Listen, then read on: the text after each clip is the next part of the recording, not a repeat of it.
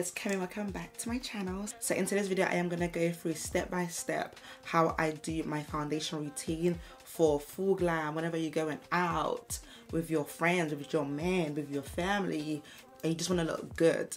This is the foundation routine for you. This routine will always have you looking flawless okay? Regardless of what angle the picture is getting taken from you're gonna look blended you're gonna look flawless you're gonna look air freaking brushed okay? So if you guys are interested in that i don't know why i'm moving my head so much but if you guys are interested in that then please keep on watching. So in today's video we're to be doing an updated foundation routine I feel like I haven't given you guys one in years. So we're gonna fix that, okay? Excuse the voice again for sounding like a man. I am recording early morning of the day and you guys know that I am not a morning person, but here we are. So as you can see, I've already started filling my brows and I stopped because I wanted to come on here and actually show you guys everything I do in terms of base for you guys to get that flawless base that we all love especially during the winter season my foundation routine does change just because the weather's trying to get your girl okay and we get here for it okay so the steps I've done so far that I forgot to show you guys is obviously I washed my face with a gentle cleanser and I have toned with my Skin Proud Detox Tonic. This is absolutely amazing. This is like my second bottle and I'm already running really low on it. I need to go and purchase some. I absolutely love this toner. It's so gentle on the skin. It's really been helping out my skin a lot as well in terms of like having like an even layer. I feel like this toner is actually my favorite toner. I think it's the only toner that I technically use unless I'm trying new products, but that has never let me down and I absolutely love it. So you can get it if you want, but yeah. And then I went with my Skin Proud Bright Eye Eye Cream. I just literally just placed it underneath my eyes. I absolutely love this as well. I said this video is not sponsored by Skin Proud, but if they won't, they could because I already love the product. So yeah, that is all I have on my skin right now. As you can see, the toner gives me like a nice radiant glow. I have nothing else on my skin right now, except for my eyebrows, obviously. Just look at my skin right now. Just the toner and the eye cream.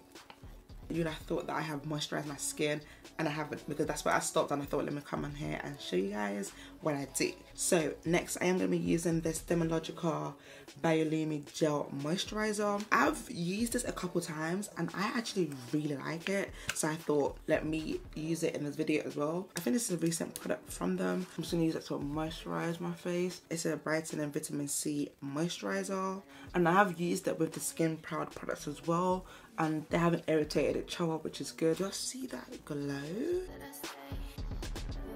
I swear to you, if you want a flawless base, you need to do your skincare because these are the things that's to help determine how your makeup sits on your skin. So please make sure you're doing your skincare because it is vital, okay, to the beat.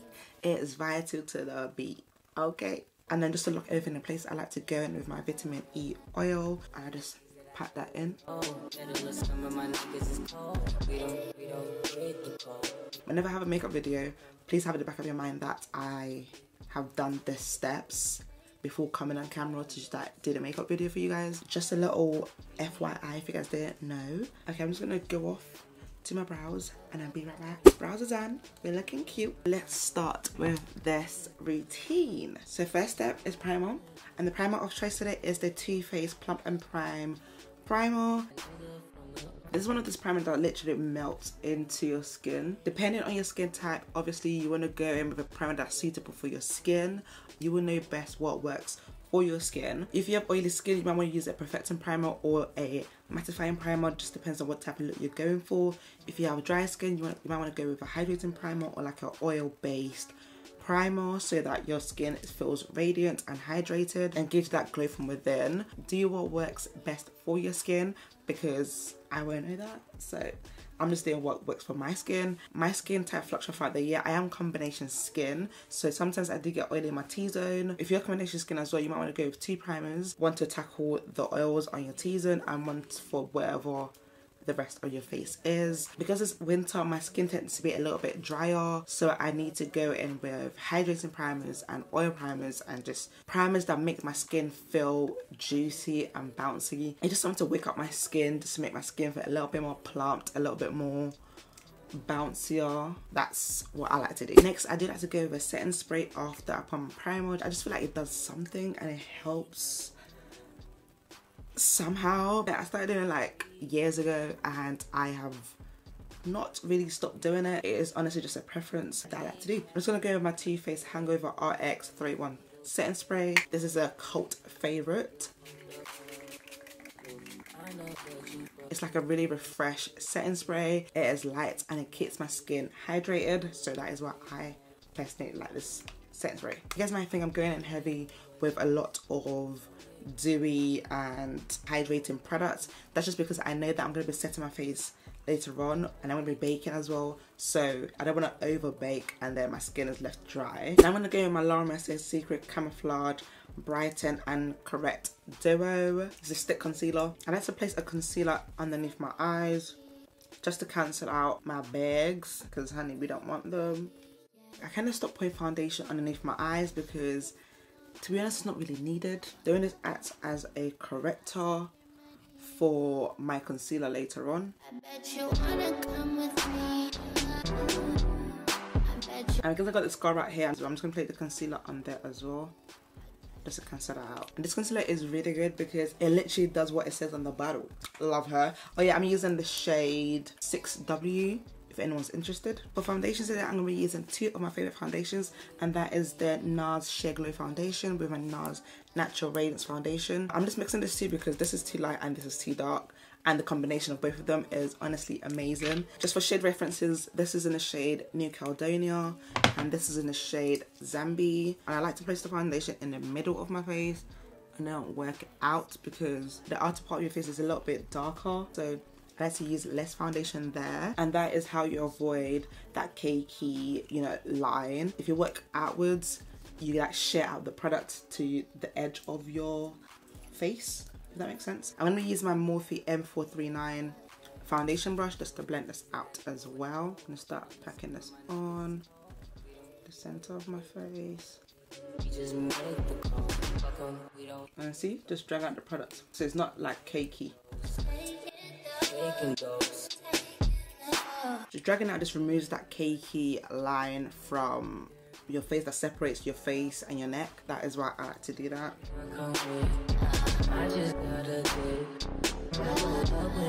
But doing this as well allows you to like use less product and that way you get more for your money. So next I'm going to go back with my Laura Mercier concealer.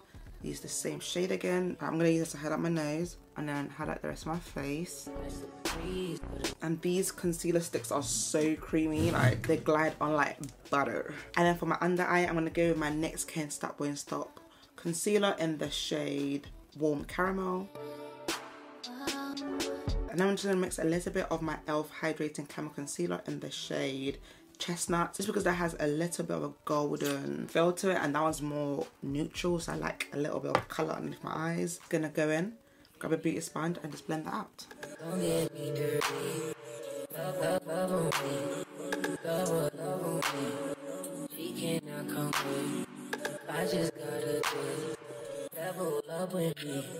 And whatever's left, I use it on my forehead. Next step is my favorite part because it is literally bringing color back into my skin. Because right now we are looking a little bit light we don't want to look like that okay? We're gonna go with my absolute favorite thing in the world to bronze my skin with. It is the Makeup Obsession mega concealer in the shade 18 baby this is me in a bottle. I bloody love this. It is the right amount of chocolateness right amount of richness. It's just the right amount of everything okay underneath my nose under my chin. You guys are about to see what I mean in two seconds like.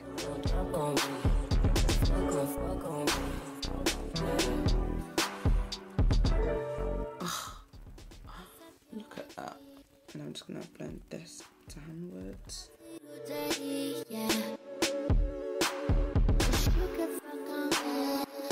And then my recent favorite thing to do is go in with my Colourpop concealer and just place that right here. This part is actually not necessary whatsoever and just put a little bit on my cheeks as well. It's like a burnt orange shade. I'm just gonna blend that out again. This shade acts as a bronzer and a blush at the same time for me, which is what I like. Then I'm just gonna grab a small blending brush. I'm just gonna blend my nose contour.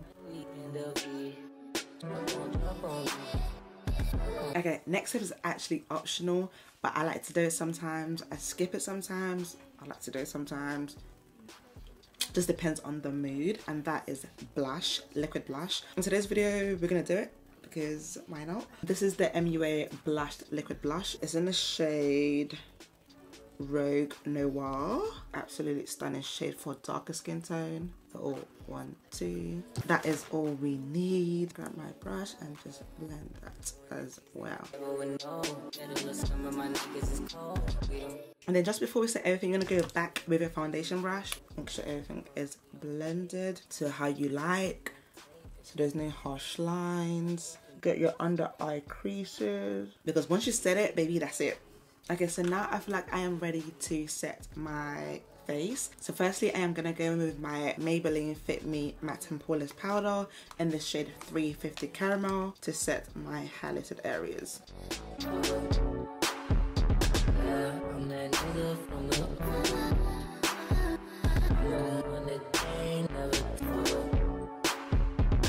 So next we are going to bake our highlighted areas because obviously the powder, the medium powder can't hold this on for the whole day. So we need to go in with something a bit more heavier. So we're going to be using the I Heart Revolution scented baking powder.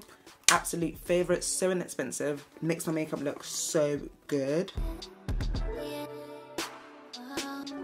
Okay, so the trick of getting your setting powder not to be cakey or patchy on you is literally grabbing your sponge, going into your setting powder, grab your hand, tap off the excess, and then go in.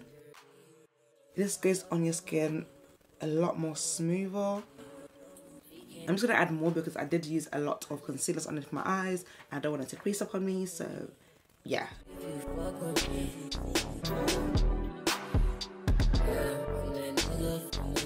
Okay, so next is setting powder. I like to go in with a new favorite of mine is the Wunder2 Go Beyond powder. And it's honestly just a gorgeous gorgeous powder. Ever since I got it I have not put it down. I'm just to use it to set my entire face.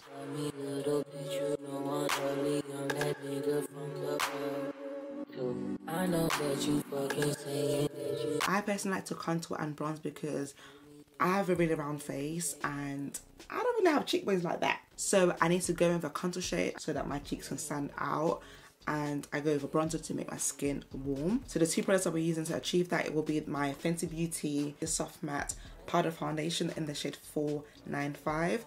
And I'm going to be using my Toasted Bronzer to contour my nose and to bronze up my face. So I'm going to go in with my Fenty Beauty first. Because I don't really want a really harsh contour.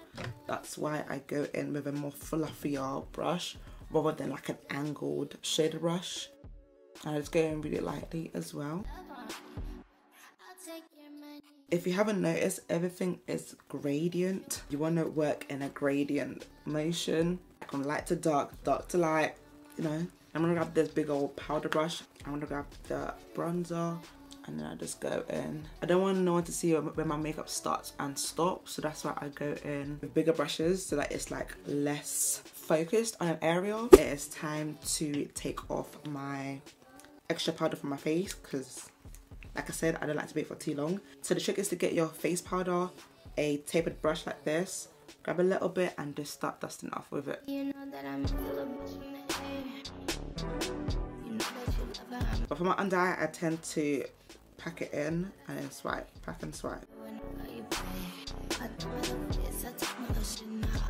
Then lastly, before I go in and set my face, I'm going to be using my EX1 blusher. This is in the shade Love Story, an absolute new favorite of mine. Such a stunning blush. And I'm just going to go back in with my Too Faced Hangover RX setting spray. I'm just going to set my face.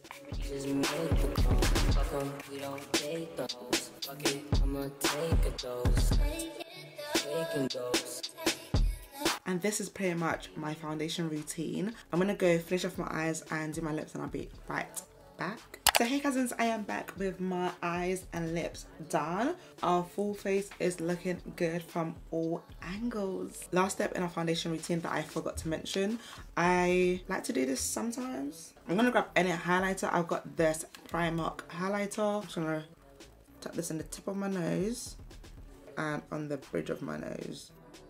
This part is completely optional, but just give that little extra oomph to my nose highlight and contour. And yeah we are pretty much done with this routine. It might look like it's a lot and that is because it is can't lie but this is not for every single day wear but this is the foundation routine that I like to do. I do skip some steps on my everyday makeup look but majority of the part this is the foundation routine that I go to. I always like to go for a fresh flawless beat where you guys don't know what anything starts or stop everything's blended out into each other. So yeah, this is pretty much it. Do you guys like it? Let me know down below in the comment section. I have nothing else to say to you guys. Thank you guys so much for watching. I love and appreciate you guys so much. And inshallah, I'll catch you guys in my next video. Bye cousins. Mwah.